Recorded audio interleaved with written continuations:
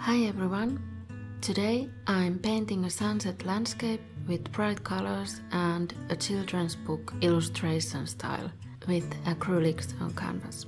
I first made a few little thumbnail sketches in pencil in my sketchbook and I wanted to use the trees I painted in a previous video but create a landscape around them. I wanted to use blue tones for an evening atmosphere and a bit of pink and purple. I looked at some sunset photos and Tove Jansson's Moomin Valley illustrations for ideas. I wrote little notes about colors and stuff beside the thumbnail. I decided to make a mountain and have the setting sun peek from behind it. Make the sky pink and purple and the mountain and trees blue. I usually start by sketching in real size on grid paper and then transferring it onto canvas. But for this one I drew straight onto the canvas to make the process faster. I wanted to follow the rule of thirds in where I placed the sun because that would be the focal point of the painting besides the trees in the foreground. I measured the canvas with a ruler and marked down the thirds and drew a little grid. And then I drew the mountains and placed the sun in one of the intersections of the grid. I made sure to use a hard pencil, press lightly and erase the lines a bit so that they wouldn't be visible under the acrylic paint.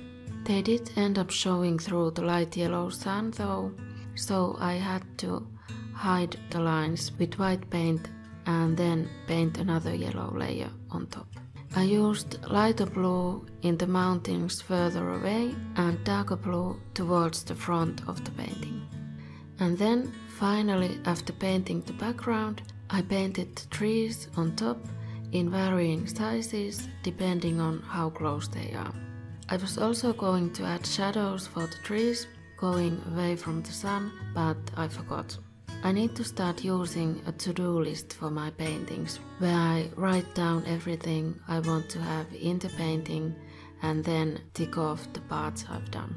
I was also thinking about putting a moon in the sky instead of the sun and have the colors of the painting be colder and more blue. But I'll save that idea for another painting.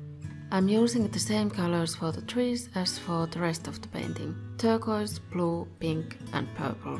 Blue where the shadows would be and pink where the sunset hits them.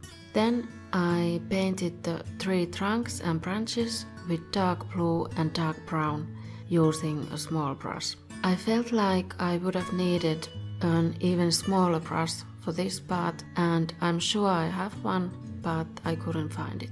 So the branches are a little chunkier than I'd like them to be. And I covered up most of them by dabbing on more leaves after the branches were dry. The ground seemed kind of empty, so I added grass and hints of trees. To tie the painting together, I painted white, pink and light yellow highlights on the mountains on the sides where the sunlight would hit them.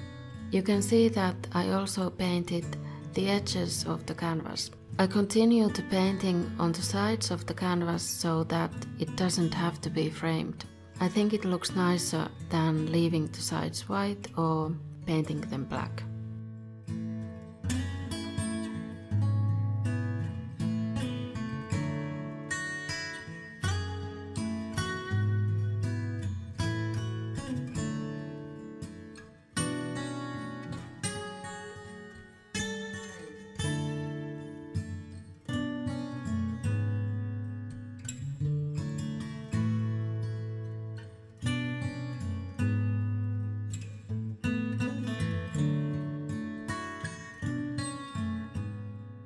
The last things I painted were little animal silhouettes in the trees.